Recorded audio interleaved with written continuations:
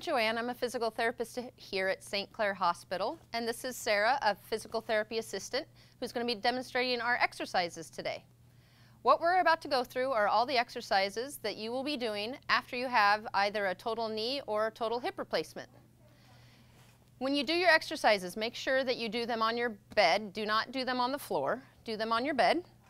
And have as many pillows as you need for comfort for your back or your neck. So I'm going to have you lay down.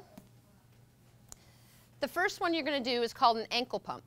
So all you do is take your feet and you bring your toes as far up as you can and you point them as far down as you can. Okay, nice and slow, all the way up, all the way down. And you're going to do this one a lot. It does not make your knee stronger, it does not make your hip stronger, but what it does is help blood flow through your calves as you, your calves pump, which decreases your chances for a blood clot. So when we say a lot, we mean do this 20 times a day, 20 times each time. So basically, a lot. Whenever you're bored, do them. Whenever a commercial comes on, do them. Whenever someone says your name, do them. Okay? The next one you're going to do is called a quad set. So I'm going to have you bend your other leg up to help protect your back. And take a pillow or a towel roll, and you're going to roll it up to about that size. You're going to put it under the knee on the side that you had surgery on. So underneath your new knee or underneath the knee on the side that you had your hip replaced. And what you're going to do is you're going to take this muscle here and you're going to tighten it in order to push your knee down into the pillow. Okay? And then relax. So you're going to tighten that muscle, push it down. You hold it for three to five seconds and then relax. Good. One more time. Nice and tight. Perfect. You'll do that 10 times, and we want you to do these exercises three times a day. The next one is called a glute set. So you'll lay flat just like that, and what we're going to have you do is squeeze your tush together as tight as you can. Hold it for three to five seconds, and then relax. Good. And nice and tight, and then relax. Perfect.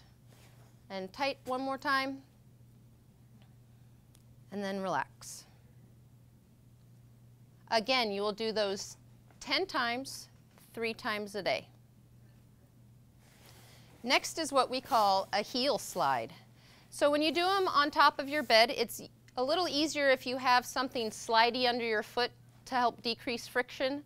So sometimes I suggest you put like a plastic bag under your foot or a towel. You could even take a pillowcase and place it underneath your foot.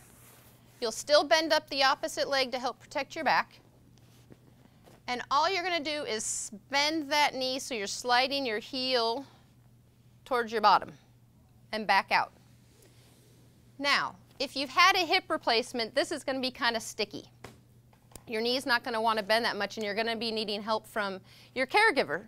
The easiest way for a caregiver to help on this is to place one hand just gently under your knee and one hand kind of under your, at the base of your heel.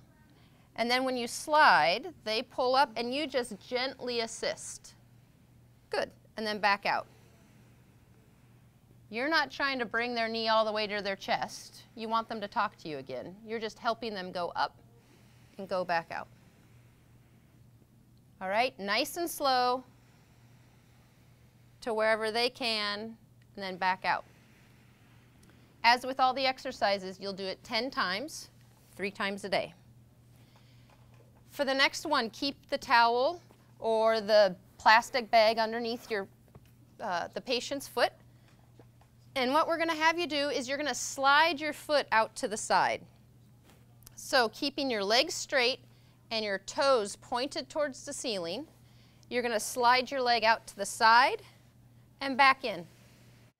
You only have to go about six to eight inches.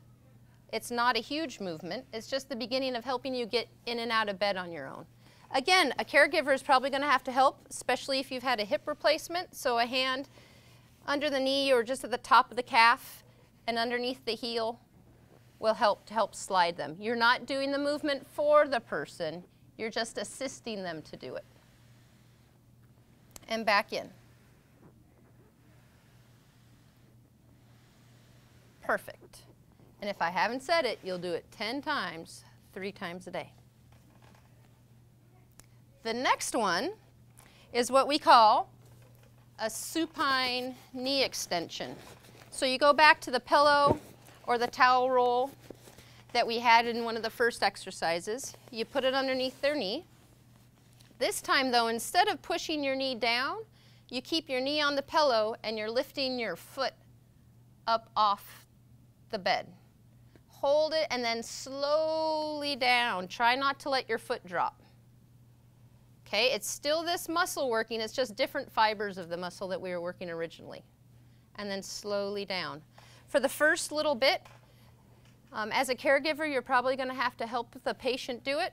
And the only thing you would really have to do is have your hand kind of underneath their foot and just assist them up to where they can get to. If they really can't move it at all, what you can do is raise their foot up there and then gently let go and let them lower it to the ground. Again, you do it 10 times, three times a day. If you've had a total hip replacement, that's all the exercises that we request that you do um, right after surgery. So let me steal this. If you've had a total knee replacement, however, there'll be one more that we want you to do, and it's called a straight leg raise. Really important that you keep the opposite knee up for this one to help protect your back. And on this one, you're going to tighten your muscle, the thigh right here, and try to keep your leg straight, and you're going to lift your leg up and then slowly back down. You don't have to go as high as the other knee even, probably just about 12 inches. And slowly down. Now Sarah makes it look easy because she didn't have her hip replaced or her knee replaced. Um, but what's going to happen is you're probably going to have to have the assistance of a caregiver for the first few times. So just same hand placement underneath the knee, underneath the heel, and then slowly down. Um, and the other thing you need to look for is what usually happens is the person tightens their muscle and they start to lift their leg and a couple inches up their knee starts to bend.